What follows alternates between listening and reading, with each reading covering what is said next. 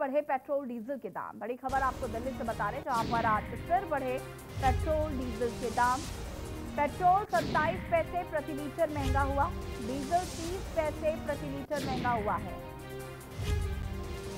बता दें आपको कि दिल्ली में पेट्रोल अब इक्यानवे रुपए अस्सी पैसे प्रति लीटर बिक रहा है। आज फिर बढ़े हैं पेट्रोल, डीजल के दाम। पेट्रोल सत्ताईस पैसे प्रति लीटर महँगा हुआ और डीजल तीस पैसे प्रति लीटर महँगा हुआ है। डीजल बयासी रुपए छत्तीस पैसे प्रति लीटर हो गया। एक बार फिर बढ़े पेट्रोल, डीजल के दाम। पेट्रोल सत्ताईस पैसे प्रति लीटर महँगा हुआ है और डीजल तीस पैसे प्रति लीटर महँगा हुआ है